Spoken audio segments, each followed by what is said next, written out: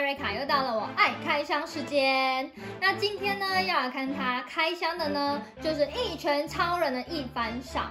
那这也是万代呢，他第一次出一拳超人公仔的一番赏，大家应该对他都还蛮新奇的。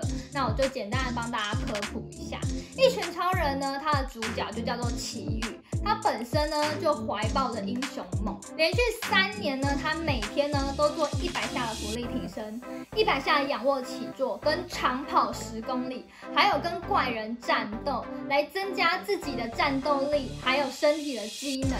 最终呢，他的头发呢掉光，变成了一个光头，也因此呢获得了强大的能力。所以呢，他跟别人战斗的时候呢，他就可以一拳的击败怪人。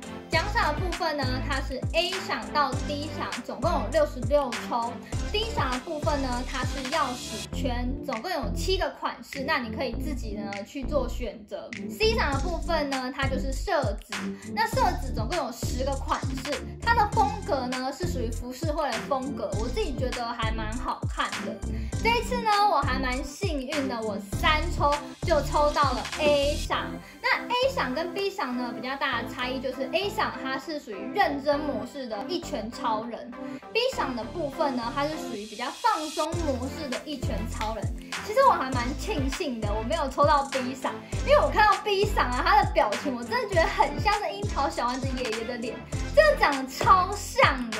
那最后赏的部呢，它跟 A 赏比较不一样的呢地方，就是它的阴影是属于比较加深的那异色版的奇遇老师。那我就废话不多说，赶快开箱 A 赏来给大家看喽。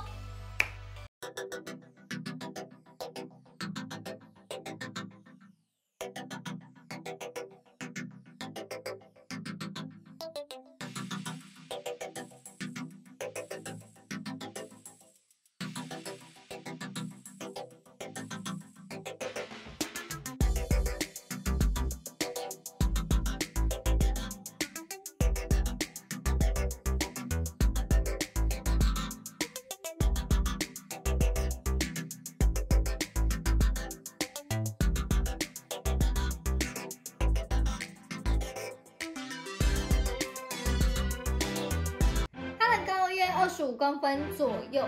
那外观造型上面呢，它维持一拳超人呢，它黄色的紧身衣，红色的手套呢，跟靴子，外加呢白色的披风。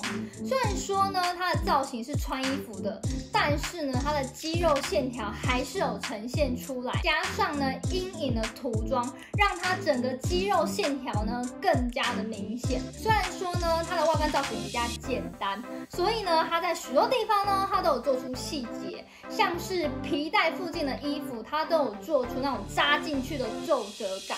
还有啊，它的不会因为说它后面有做披风，所以它的背部肌肉啊，它就没有做。你看它的背肌呢，到底有多么的明显？那披风的部分呢，它其实也是一拳超人它一大特色嘛，所以它的披风呢，它有做出它的战损感。还有呢，它上面的涂装呢做的还蛮明显的，我自己觉得还蛮好看的。那脸部表情部分呢，还蛮还原动画里面一拳超人他脸部的样子。讲了这么多的优点呢，当然呢，这只一拳超人呢，它也有唯一的缺点，也是它最大缺点的地方，就是在它头部连接脖子的连接处呢，它的缝隙做的很明显。还好地方是呢，它是坐在后面。那我们平常呢摆放公仔都是正面朝前面嘛，所以就不会看到后面那个连接缝。那跟之前呢一拳超人来比的话，这一只一拳超人呢，它的比例真的大蛮多的。涂装的部分呢也没有多余的异色。那一抽的日币定价呢是七百四十元。A 赏的部分它是认真模式的一拳超人有三只，B 赏的部分呢就是很像小丸子爷爷的一拳超人有两只。那我自己抽到的是 A 赏，我还蛮喜欢的啦。那如果喜欢的观众可以去抽抽看。那以上呢就是我今天所介绍的一拳超人一番赏。那跟大家说一件事，就是呢我的 IG 呢莫名其妙的呢就被 Instagram 停用了。那前看起来呢，就是找不回来这个账号。那我有新办了一个账号，上面的追踪数呢少的可怜。那拜托大家呢加回我新的账号。那影片就到这边，喜欢的影片记得按赞、订阅、分享，不要忘记还要追踪我的 IG 哦。那我们下次见喽，拜拜。哎，我在拍片呢，你从头到尾都这个姿势。